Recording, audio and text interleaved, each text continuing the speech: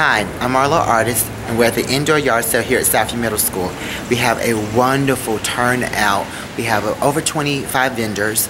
We have a lot of participants. A lot of people are buying things. We um, created the yard sale and came up with this concept so that we could buy 100 copies of the book Dovey Coe by Frances O'Roark Dowell. She's coming to our school on April the 8th, and we want to have the book so that when she comes, the kids will have their own copy. And guess what? With the donations and with the table rentals, I was able to send the order last night, and so the books will be here before she arrives. So we're super excited about it, and the kids are going to love it. They're going to be able to keep the book, so we're going to be able to buy 100 copies of the book. I'm so, so, so, so, so, so, so pumped up about it.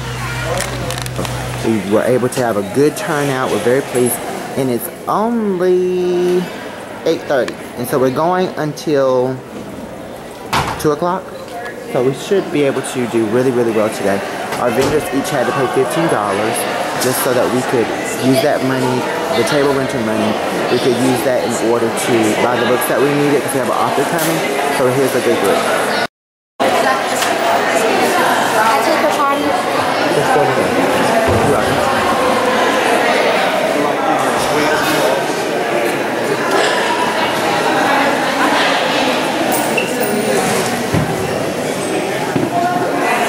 sorry. All outside.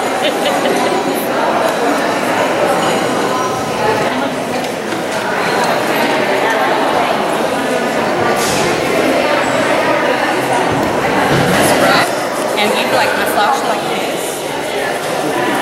And go to your cuticles. Whenever you're home, you can go all the way to your elbows. I'm not gonna tell you to do that. You can smell it. And this is a spa. It gets you relaxed. Okay? And it will take all your dead skin off. Interesting. Okay? Now I'm gonna pour some water. Keep doing it while I pour the water in your hands.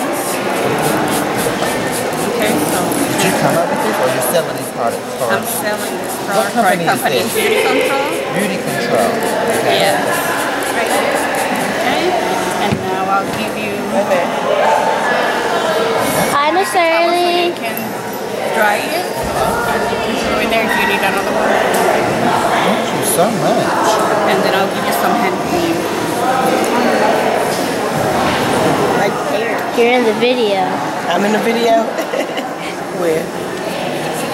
Oh, okay. This is a company that is new here in Fayetteville. New It's, yes, it's Where's the company located? in Texas.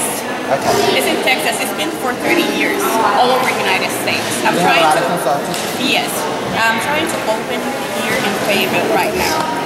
That's what I'm doing right now. Well, good So, luck to you. Thank you so much for coming. Let my grandma do a manicure. And you, the cream, go ahead and take it all all the to your elbows and your hands.